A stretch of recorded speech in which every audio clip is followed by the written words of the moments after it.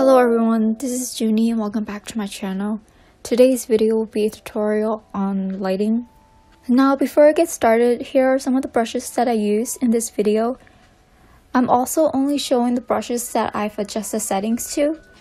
Additionally, I am not like an expert on lighting and so my lighting isn't 100% accurate because it's based on my perceptions of where light hits.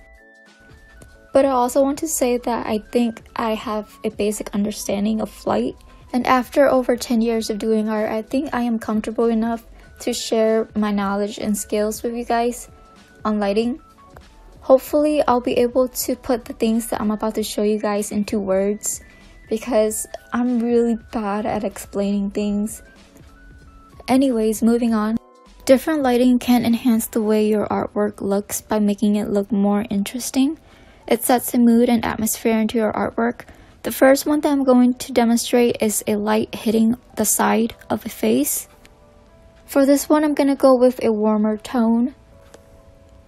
What I've done so far was putting down the base colors for the hair, skin, and background. I did a simple background using the airbrush. Going back to the skin layer, I marked Protect Alpha and I applied a darker warm shade onto the back using the airbrush.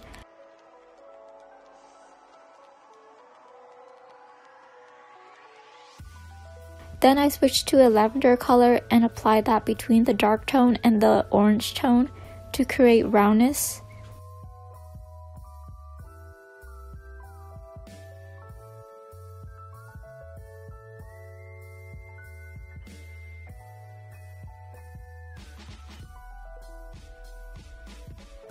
I did a similar thing to the hair.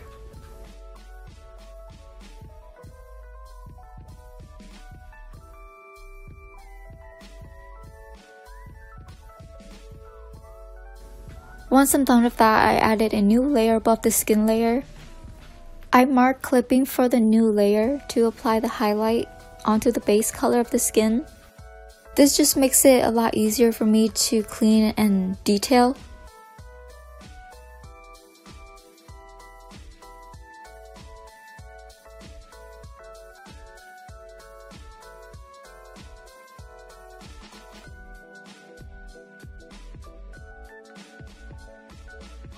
Going back to the base color, I switch to an airbrush and paint over the area near the highlight with a warmer shade.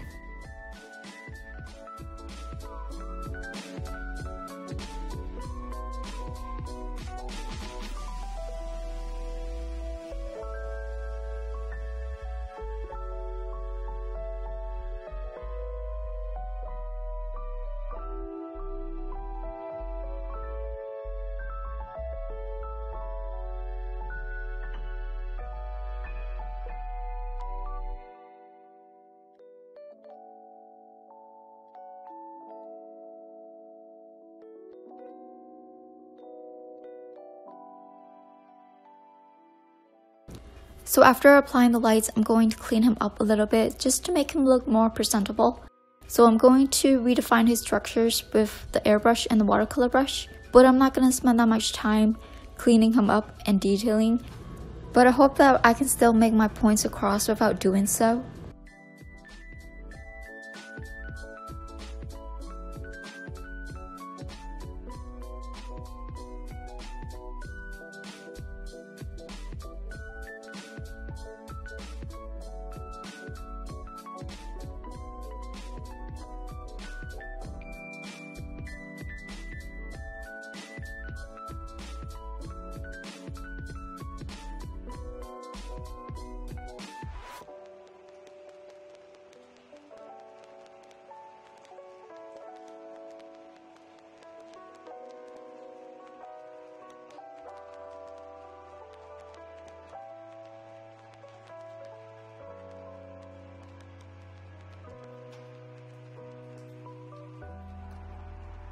I also did a hair tutorial on a separate video, so I'm going to speed this part up.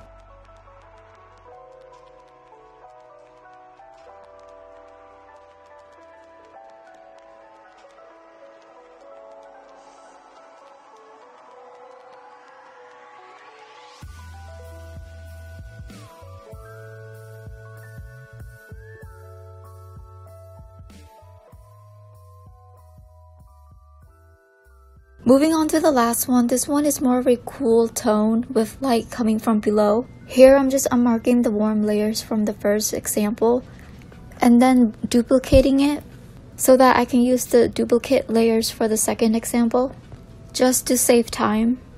I first changed the background to a navy blue color. I used the eyedropper to capture the lavender or the darker tone of his face and apply that over the warmer tone of the previous example.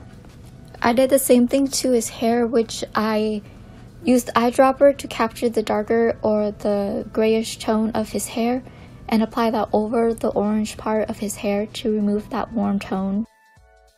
The next thing that I did was add in a new layer above the skin layer. This one will be focusing on adding highlights to his face. Using the airbrush, I picked a lightish blue slash purplish tone and apply it on these highlight areas.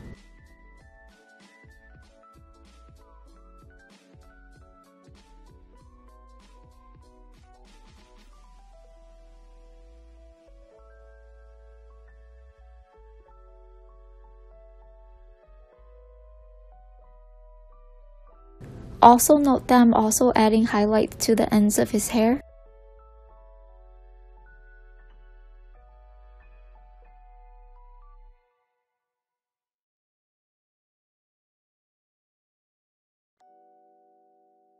Now I'm also just going to redefine his structures again in this example and clean him up a little bit just to make him look more neat.